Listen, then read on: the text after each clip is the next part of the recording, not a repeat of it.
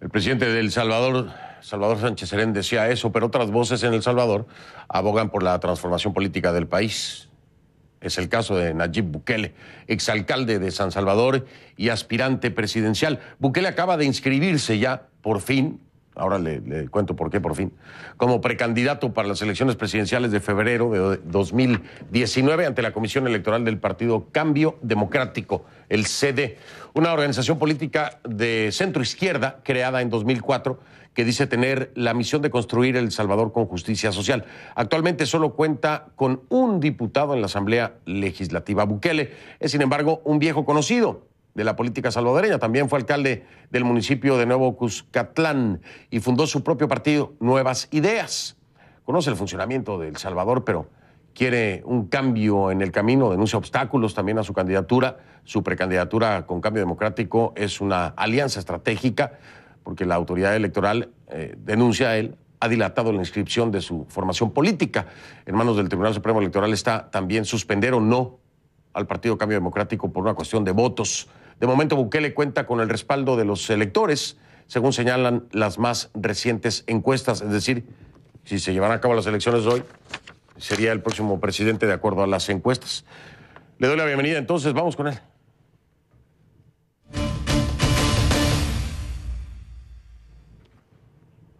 Me acompaña Nayib Bukele desde nuestros estudios en Washington. Nayib, buenas noches, bienvenido. Buenas noches, Fernando. Un saludo. Eh, un gusto volver a verte y un saludo a todos los amigos que nos ven a través de CNN en todo Estados Unidos y en toda Latinoamérica. Gracias, eh, Nayib. Igualmente un gusto saludarte. A ver, eh, de entrada, normalmente, y nos ha pasado a ti y a mí, que te tengo que preguntar por el actual presidente Salvador Sánchez Serén, y tengo que hacerlo de nueva cuenta porque has escuchado lo que está pasando en Nicaragua y has escuchado lo que ha dicho Sánchez Serén en La Habana.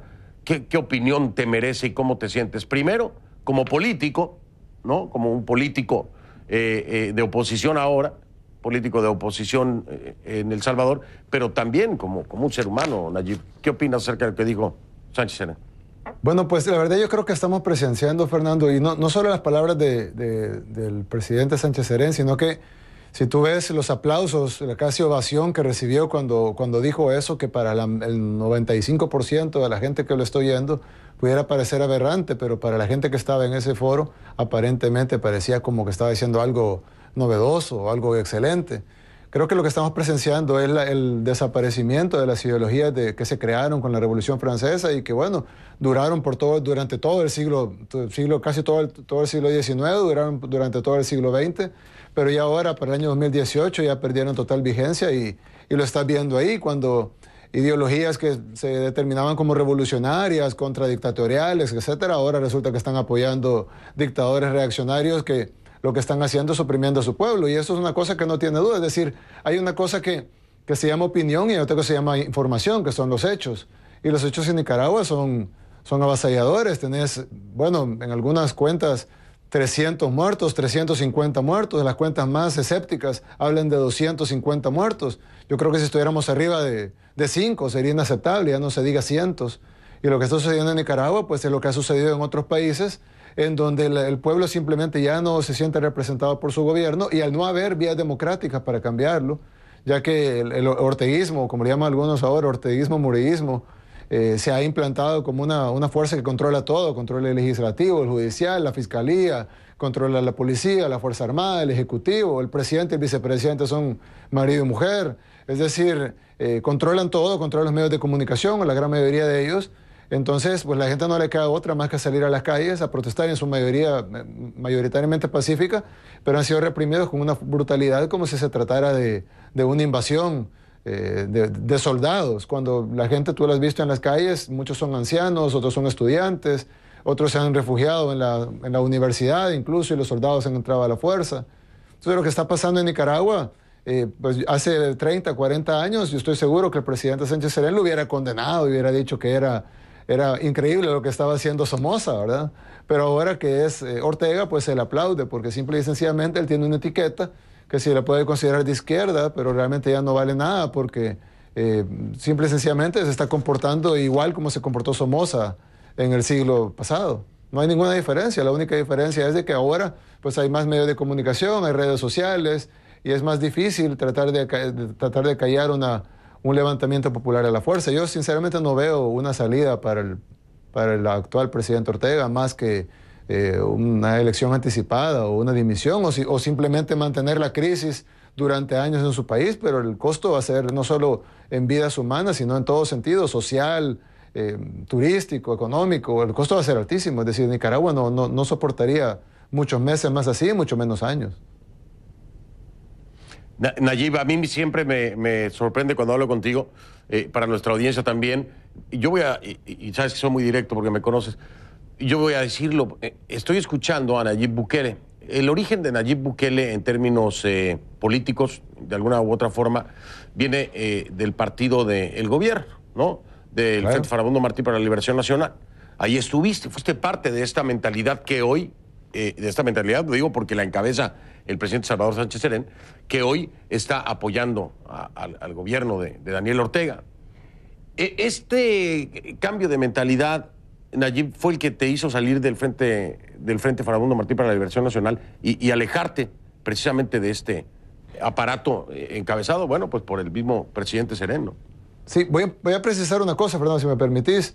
Eh, obviamente una evolución en su, en su, pensar, es imposible que uno se mantenga estático, es decir, es, la, es, lo contrario a la revolución, es decir, obviamente uno tiene que mantenerse en una dinámica de, de pensamiento en evolución. Pero más que eso, yo creo que el que cambió de pensar no somos la gente que nos hemos ido. De hecho, como tú lo mencionaste, nuestro movimiento Nuevas Ideas tiene el apoyo de la gran mayoría de la población y eso no lo digo yo, lo dicen todas las encuestas de opinión, todas, de, las universidades más prestigiosas del país, la Gallup, Mitofsky. O sea, tú escoges al gusto, las de derecha, las de izquierda, todas dicen que tenemos el, mayor apoyo en el, en el Salvador. Es decir, el que ha cambiado es la mentalidad de las personas que se autodenominaban revolucionarias en el siglo pasado pero ahora están haciendo todo lo contrario. Te pongo el ejemplo de Ortega. Yo te apuesto que si volviéramos al pasado y escucháramos al Ortega del pasado, que tampoco es un personaje que a mí nunca me gustó en lo personal, pero si escucháramos al Ortega del pasado que luchaba contra Somoza, te apuesto que hubiera dicho que vivan los estudiantes, eh, vivan los obreros, vivan los campesinos, vive el pueblo que se levante contra la dictadura, abajo contra la represión, entre más represión más lucha, el pueblo unido jamás será vencido, etcétera. Es decir, eh, eso no, debe de cambiar. Yo siempre considero que todas esas cosas correctas. El punto es ahora quién representa al pueblo, quién representa a los campesinos, a los obreros, quién representa a los estudiantes. Pues nosotros vemos a los estudiantes en Nicaragua, vemos a los campesinos, vemos a los obreros y los vemos marchando en contra del gobierno. ¿Y quiénes son los que están reprimiendo? El gobierno.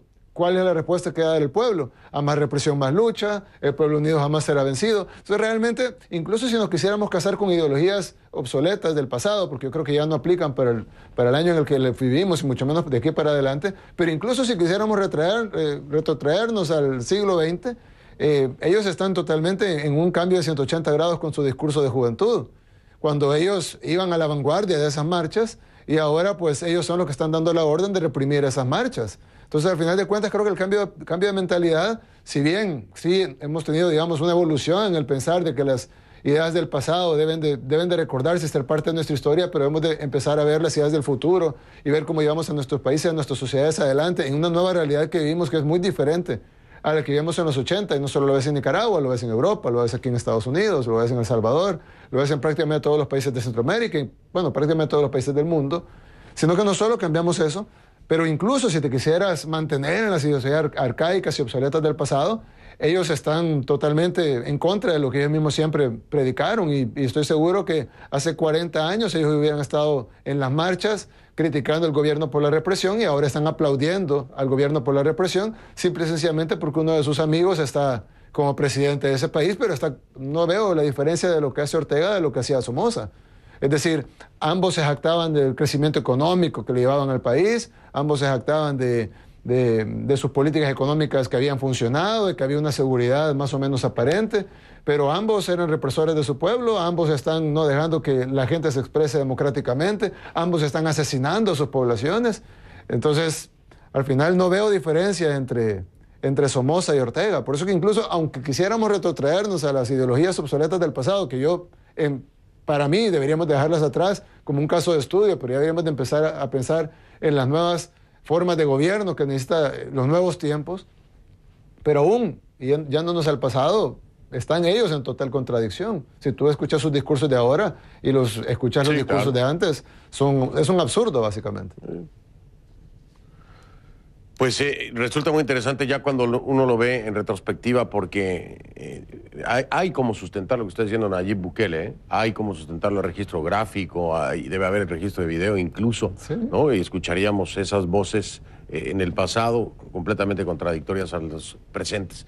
Nayib, voy a marcar pausa, no me despido de ti, sigo hablando en un momento para regresar y entrar un poquito con el tema de lo que está pasando.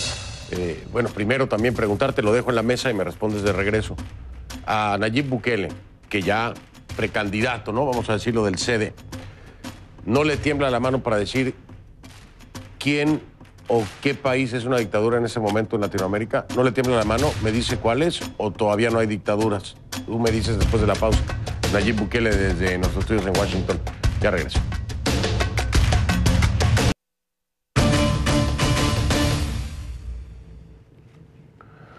Estamos de regreso y le hacía la pregunta a Nayib Bukele antes de ir a la pausa, eh, ya precandidato del, del CD en El Salvador.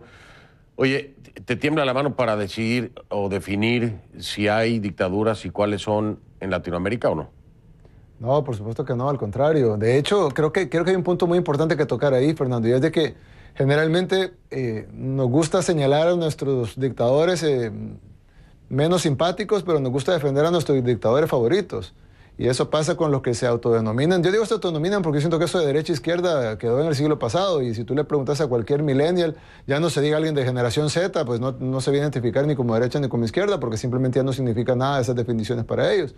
Pero, pero incluso si quisiéramos determinarlo como se determinan todavía los baby boomers o, o, la generación X, algunos de la generación X, eh, bueno, si el dictador es de derecha, pues es bueno, y si el dictador es de izquierda, pues es malo, y de igual manera al revés, si es de izquierda es bueno y si es de derecha es malo. Yo creo que en Latinoamérica tenemos varias dictaduras, tenemos ahorita la que está gestando en Nicaragua, que probablemente llegó democráticamente, pero ahora la represión que está haciendo ya no es democrática, es decir, tal vez llegó democráticamente, no sé, no se puede dudar que la primera vez que ganó debe haber ganado de una manera democrática porque no estaba en el poder, pero ya ahora ya se convirtió en una dictadura, desde el momento que no permite libertad de expresión, libertad de reunión, libertad de su población, etcétera, son derechos democráticos, derechos humanos, derechos fundamentales que se están violando, se vuelve una dictadura. Caso de Honduras, hay gente que dice, no, Honduras no, porque Honduras es de derecha, pero Honduras es una dictadura, tanto que se impuso en una reelección ilegítima y luego perdió la reelección contra Salvador Narrala y luego hizo fraude en la elección, un apagón y luego salió, estaba cinco puntos abajo, después de un apagón estuvo cinco puntos arriba eso es imponerse ante la voluntad popular y eso es una dictadura. Una dictadura, o sea, autodomine ser de derecha o de izquierda, es irrelevante. Además, ahí también murieron decenas de personas en manifestaciones reprimidas por el gobierno dictatorial de Honduras.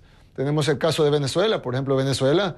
Eh, probablemente cuando Chávez llegó en el 99 no era una dictadura, llegó por un voto democrático, incluso ellos se jactaban mucho de que su sistema electoral era muy bueno, certificado por Centro Carter, etcétera pero de un tiempo para acá nadie puede dudar que es una dictadura. El, eh, no, dejan, no permiten elecciones, cuando hacen elecciones, hacen unas elecciones de manera que no pueda competir la oposición, eh, inhabilitan candidatos de la oposición, como inhabilitaron a Capriles por 10 años, por ejemplo, porque es probablemente el, único que puede unir a la oposición en estos momentos. Entonces, es decir, está funcionando como una dictadura, aunque sus inicios no haya sido así, pero ya lo es.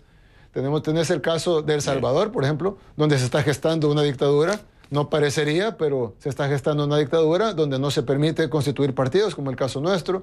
Se nos pidieron 50 mil firmas, llevaron dos, llevamos 200 mil, de las cuales el tribunal validó 176 mil y hoy por hoy no tenemos un, partido político, a pesar de haber cumplido con todos los requisitos.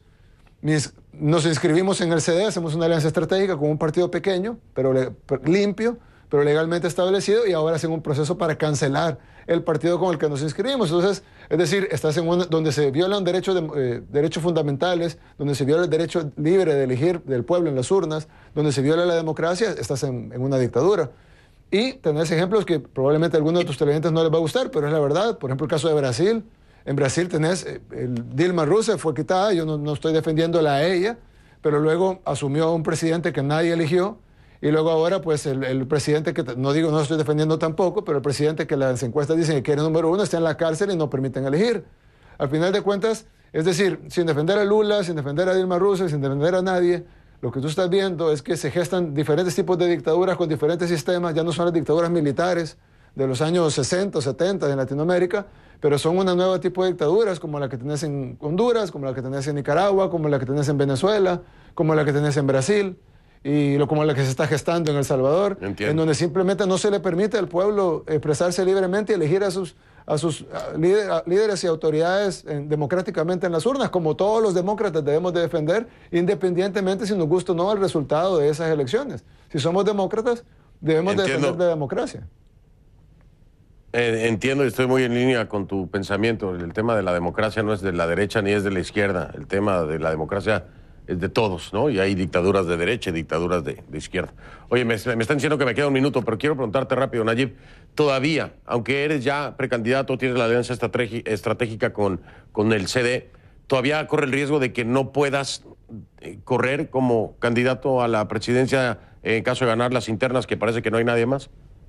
Bueno, mañana tenemos una reunión con Luis Almagro, el secretario general de la OEA, precisamente plantear eso, también con la Comisión Interamericana de Derechos Humanos. El día de ayer nos reunimos con las Naciones Unidas eh, para exponer precisamente eso, de que en El Salvador la democracia tan débil que tenemos, que se fue gestando poco a poco, incluso tuvimos una guerra civil hace, hace menos de 30 años, y ahora pues lo que estamos viendo es un un retroceso de casi 40 años en nuestra democracia, en donde ya, no, ya la competencia ya no es en las urnas, es decir, que el pueblo salveño va y elija a sus líderes democráticamente, sino que la competencia es una competencia de quién tiene control sobre más instituciones y quién puede inhabilitar candidatos, cancelar partidos, no autorizar nuevos partidos, no autorizar nuevas expresiones del pueblo, a pesar que, como tú mismo lo dijiste al inicio de la entrevista, tenemos la gran mayoría de la población eh, que quiere votar por nosotros y el sistema lo está previniendo. Claro, nosotros Vamos buscando las vías para participar, pero el sistema es tan poderoso y tan grande que, lo evita. Y lo que queremos evitar en El Salvador es que nos pase algo como lo que pasó en Honduras, perdón, lo que pasó en Nicaragua, de que la gente al final no encuentre una forma de responder y se va a las calles. Así es, Nayib. Voy a estar al pendiente, por supuesto, como siempre. Ya por lo pronto puedo decirles que es el precandidato presidencial de Cambio Democrático. Va a hablar con todos los que ya nos dijo y vamos a ver si de ahí las cosas siguen normalmente. Nayib, muchas gracias por esta entrevista. Te saludo allá en Washington y suerte. Gracias. Muchas gracias. Gracias. Hacemos un